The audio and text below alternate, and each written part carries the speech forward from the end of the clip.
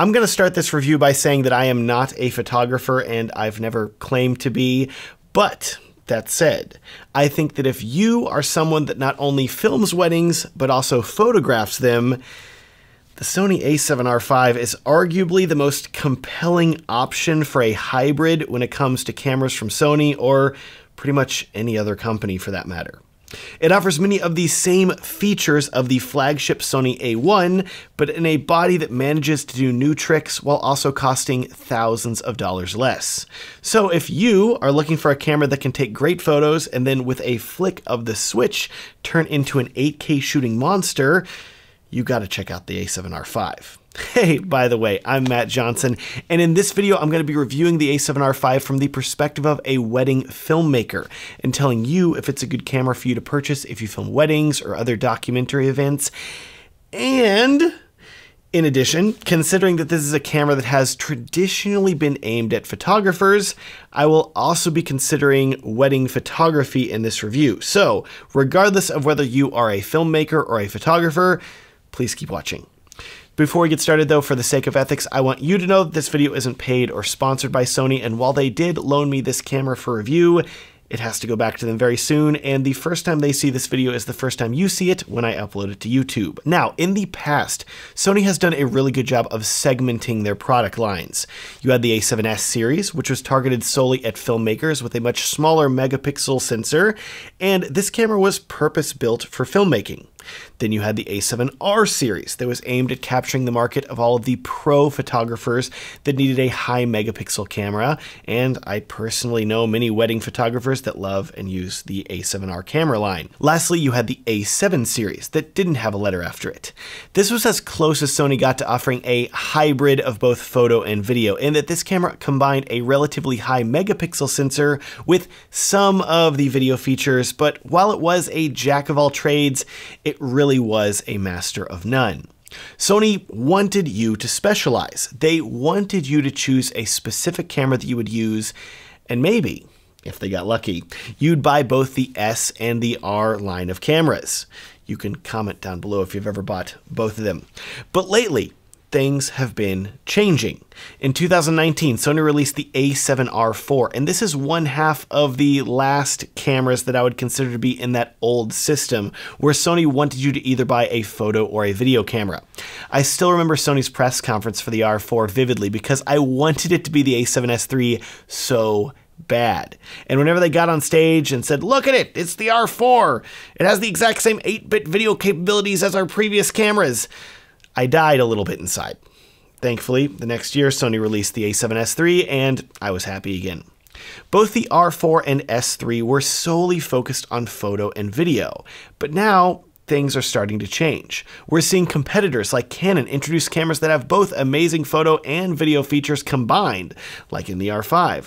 I mean, aside from that whole overheating thing, you can watch my test for that camera in the corner and down in the video description. Anyways, Sony had to compete, and finally, with the A1, they released a camera that was a true hybrid, capable of both amazing 50.1 megapixel stills and amazing video all the way up to 8K resolution. The issue is that the A1 was really meant to be a Halo product, the ultimate camera that Sony crammed all of their latest technology into. The con is that, like all Halo cameras, this was incredibly expensive, coming in at over $6,000.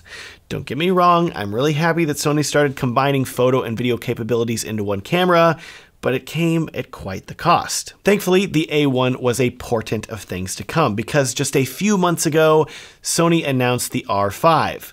Sony's version of the R5, not Canon's R5. The naming systems are way too similar. The point is that we are finally seeing a closer merger of photo and video capabilities for a better price with even less compromises than the A1. So, let's talk about the R5's video and a bit about its photo capabilities. Starting off with the body and build quality, this camera shares a ton with the A7 IV. The buttons are all the same and in the same locations, which I have zero complaints about, But whenever you switch to the back of the camera, the screen is where you notice the big difference. See, for years, Sony used a vertical articulating screen, and it's something that I really liked as a filmmaker because I could hold my camera at chest level, tilt up the screen, and be able to look down and see what I was filming. Unfortunately, though, the screen could not flip around and let me see myself while I was filming, which is a big pain as someone that films himself fairly often. Sony then attempted to fix this issue with their APS-C A6400 and A6600 cameras that included a screen that could flip completely upward and allow you to see yourself above the camera. Of course, this made for issues if you had a microphone that you were using and wasn't ideal. Thankfully, soon afterward, they announced the ZV-1 that included an articulating screen and flipped out to the side, like pretty much all of their competition, and they soon began including flip outside screens on all of their newer cameras.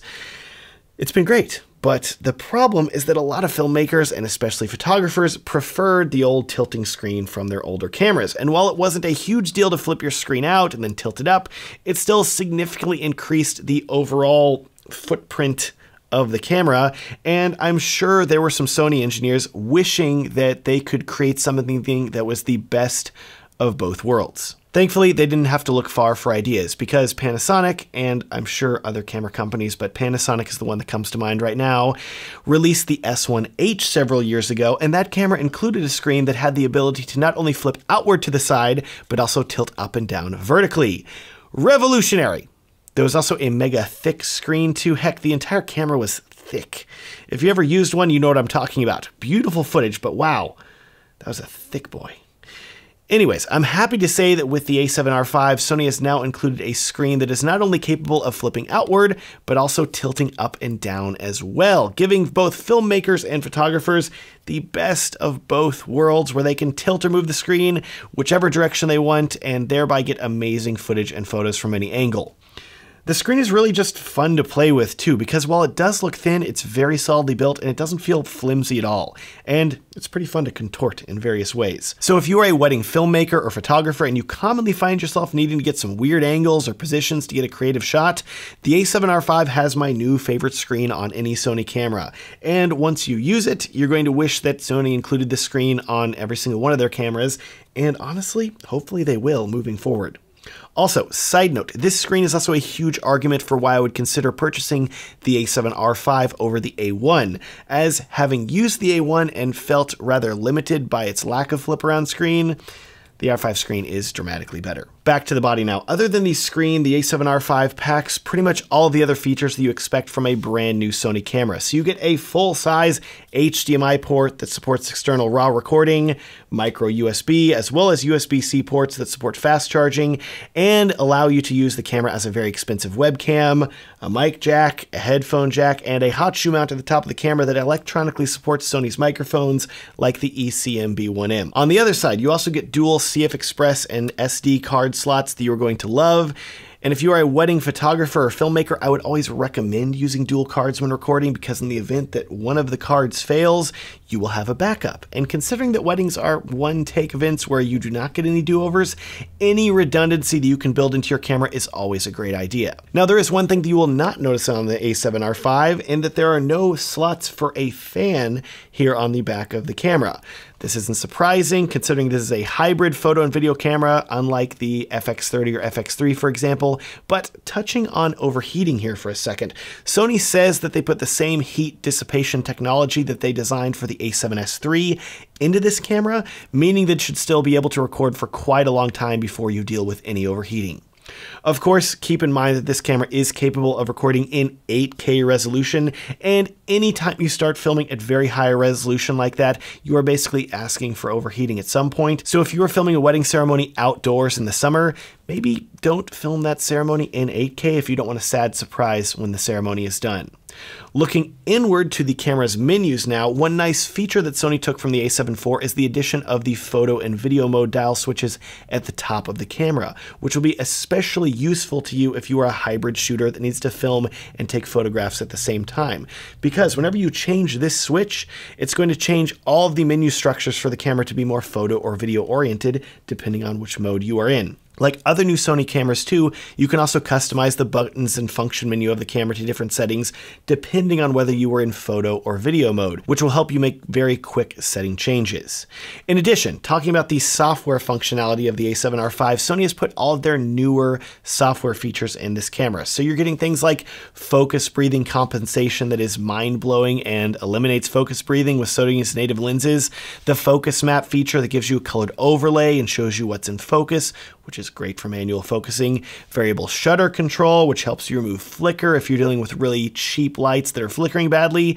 These settings are all great, but they're also a bit controversial right now because Sony hasn't updated their older cameras with these features via firmware update, meaning that in terms of software features, the A7R5 costs thousands of dollars less than the A1, but also has more features which could be added to the A1 with a firmware update. It's a big pain, and I would love to see Sony update their camera's software. Anyways, this camera has a lot more advancements that we need to talk about, and some of them are revolutionary, but others are more evolutionary. For photographers, I feel like the R5 is a bit more of an evolution than a revolution. From a photo standpoint, you are still getting a 61 megapixel sensor that is similar to the one that was present in the A7R4. That said, though, when Sony released the R4, it felt a bit ahead of its time. It felt like Sony was really pushing the processor of that camera to be even capable of handling that many megapixels. Now that it's been a few years, though, the underlying technology to handle and process those 61 megapixel images is greatly improved. You can now take up to 583 compressed RAW photos at 10 frames per second before filling up the buffer of this camera, which is awesome. There's also a new higher resolution viewfinder that's 9.4 million dots, up from 5.7 million on the R4. These features are evolutionary. But hold up, because the autofocus, on the other hand, is definitely revolutionary for both photo and video. I'm so excited to tell you that we are finally seeing larger camera companies copy Apple and Google and begin using things like deep learning and artificial intelligence to dramatically improve the performance of their cameras. In Sony's case, they use deep learning to dramatically improve the quality of their autofocus systems in the A7R5. It is still using phase detect autofocus points that are across the entire sensor, but these autofocus points are now much smarter. Thanks to a new AI processing unit chip in the R5, in both photo and video mode, the camera can now recognize human, animal, and bird eyes for autofocus. And even more, it can also recognize cars, trains, planes, and insects. So pretty much regardless of what you are filming, this camera is going to be capable of focusing on pretty much anything faster and more accurately. But there's more, and this is going to be really exciting for you if you're a wedding filmmaker or photographer, because one of the biggest benefits of this AI chip is the addition of what Sony calls human pose estimation. Basically, what this means is that the camera can now not only look for faces and eyes, but it can also look for human bodies, and it can tell where the human arms, legs, and torso are. Now, why should you care about this? Unless you want the autofocus for taking feet pics, which, hey, that's a different business to be clear, but very lucrative. I hear. It's just what I hear. No judgment. Feet pics aside, though, the reason the camera being able to see limbs and torsos is so important is that it enables the camera to be able to tell where a person's face is without them even looking at the camera. In the past, with older Sony cameras, if the person you were filming was not facing your lens, the camera had no clue what to focus on. But now that the camera can look and recognize the human body, it can then say, well, here's the feet, and here's the torso, which means the head must be right above it, meaning that's where I'm going to choose to focus right here where the face is, so whenever this person does turn around, they're going to be perfectly in focus. For me, as a wedding filmmaker, and for you, as either a wedding filmmaker or photographer, think about the dance floor. You're always trying to get great shots of the dance floor, but there are 50 50 or 100 faces that your camera could be confused about what do you want to focus on.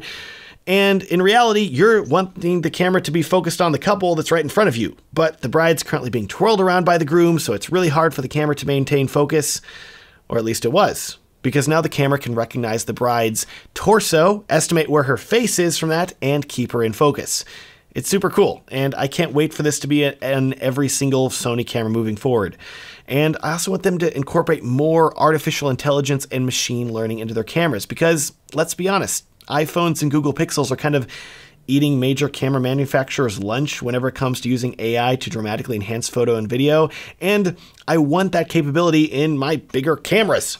Can you imagine something like the cinematic mode on the iPhone that blurs out the background, which you would normally not need on a full frame camera like the A7R5 because it has a large sensor and you can put a high wide aperture lens on it. But imagine that you could only afford cheaper f4 lenses.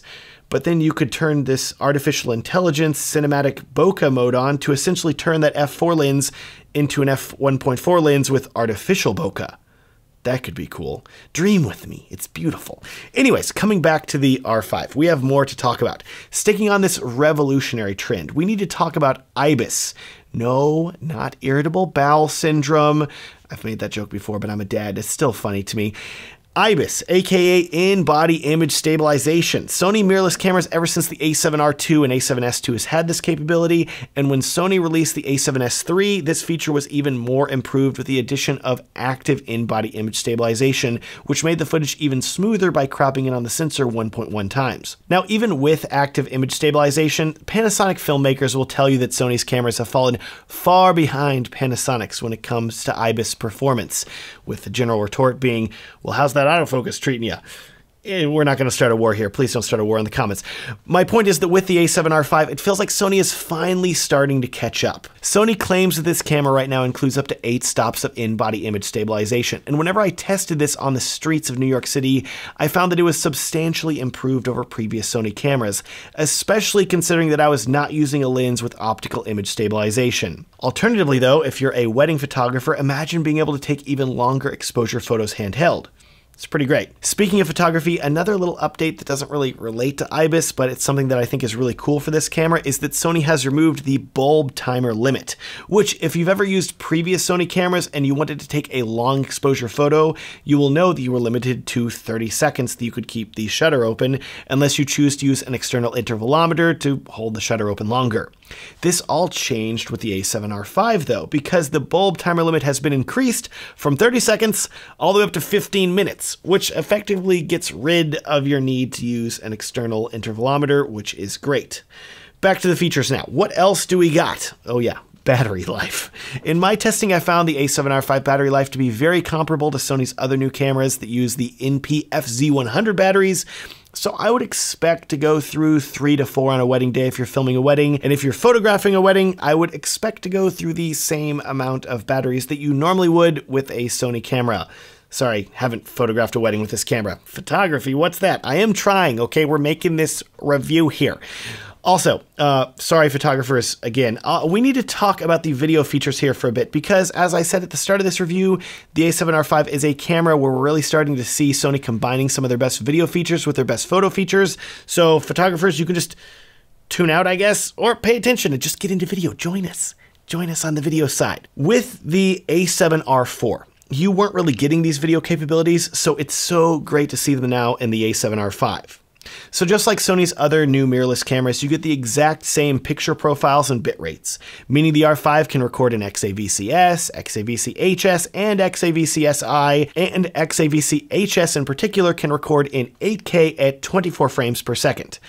All of these formats record in gorgeous 10-bit color, plus you can also use all the picture profiles that you would expect from newer Sony cameras like S-Log3 and S-Cinetone, so you can easily match this camera with other Sony cameras. Unfortunately, the A7R5 doesn't fall under the umbrella of cinema camera, which means that it does not include Cine EI mode or the custom LUTs feature that you would see on the FX30 or FX3, but we can dream that they would include it in a future firmware update, right?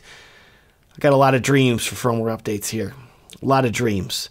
Side note, all the A7R5 footage that you're seeing in this video, as well as any of the other footage that you're seeing, has all been colored with my color presets, Who is Matt LUTs, which work great with the footage from all cameras, including Sony cameras like the A7R5. So if you want great colors, I'll link to my color presets down below. Now, let's talk frame rates and resolution. As I said, the headlining feature of the A7R5 is that it's capable of filming in 8K at 24 frames per second in roughly full frame. More on that in just a second. This footage, of course, looks gorgeous, but I will warn you that it does, unsurprisingly, have compromises like significant rolling shutter, so be careful if you're filming handheld. And here it is 8K also comes with a 1.2 times crop of the sensor, which isn't major, but keep in mind that it is a bit of a loss of width. Importantly, 8K also disables the active image stabilization mode because that would crop in even more and the camera would lose too much resolution for 8K and you need all those megapixels for 8K. So there are definitely some compromises. One cool thing though is that you only need a V60 speed SD card to film in 8K, so if you have one of those laying around, congratulations. You don't need to buy CF Express Type A for 8K. Just use an SD card. Now, in addition to 8K, you also get a lot more frame rates to choose from, including 4K at up to 60 FPS.